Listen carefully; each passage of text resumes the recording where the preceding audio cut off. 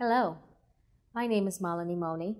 I am trained as a dentist and I'm a postdoctoral research fellow in the Johns Hopkins Arthritis Center. I would like to share with you some information about what we know concerning oral health in people living with rheumatoid arthritis and autoimmune diseases. Oral health problems are common. Arthritis can affect the ability for patients to have optimal dental care. Arthritis in the hands and wrists, elbows, and shoulders can make it hard for people with arthritis to brush their teeth. Based on research done in our center, we now understand that gum disease and tooth loss are more common in people with rheumatoid arthritis. This can be present and severe even at the beginning of arthritis. Sjogren's syndrome is also seen in rheumatoid arthritis and other autoimmune conditions, which can lead to cavities throughout the mouth, severe oral dryness, and difficulty eating, and even tooth loss.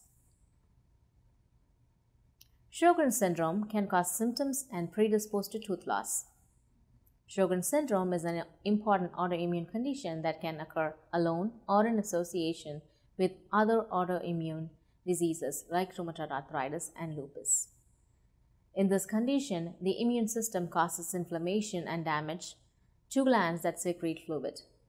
These include the salivary glands as well as the glands that make tears and those that make vaginal secretions.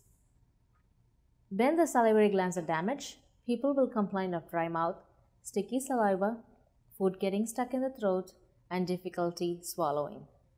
Sometimes saliva duct can get blocked, leading to severe pain and swelling of that gland that may even become more infected. When there is not enough saliva, the teeth are predisposed to early cavities because saliva, in addition to lubricating, also contains proteins that help to reduce bacteria in the mouth. It is important to drink liquids frequently and consider sucking on sugar free candies or lozenges to stimulate saliva. Consider using a fluoride rinse such as ACT or Colgate FluoriGard. If you use a mouthwash, use one with without alcohol such as Biotène. Look for dry mouth toothpaste at the grocery store. There are other medications that can help with oral dryness. More information about Sjogren's can be found at the Johns Hopkins Sjogren's Center website. Arthritis can affect the jaw joint. Rheumatoid arthritis and spondyloarthritis can affect the joint that opens and closes the mouth. This joint is called as the temporomandibular joint or the TMJ. Inflammation can develop along the tendons and damage can affect the joint itself, making it painful or difficult to open the mouth completely. Many people without arthritis have TMJ symptoms, but it is important for people living with rheumatoid arthritis and any other form of arthritis to recognize this potential symptom. Evaluation of this joint requires specific type of x-rays or full evaluation. For people with this condition, bite guards to wear at night can sometimes be helpful. Be alert for in infections in the mouth. Infections around the teeth could become severe in people taking immune modulating drugs.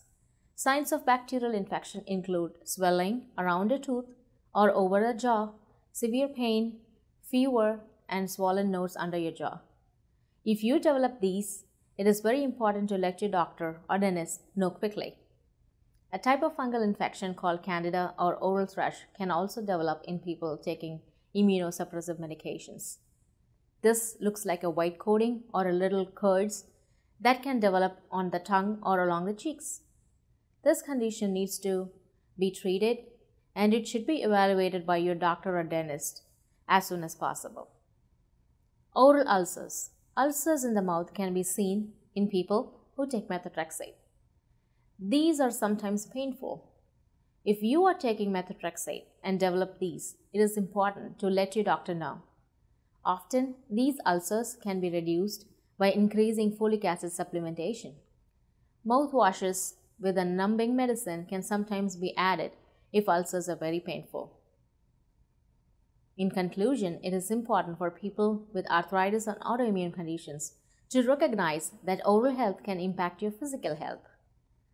Brush and floss your teeth regularly. Use an electric toothbrush if need be. Cigarette smoking and chewing tobacco can make oral conditions worse. See a dentist on a regular basis. Bring any new oral health problems to the attention of your doctors and your treating rheumatologist.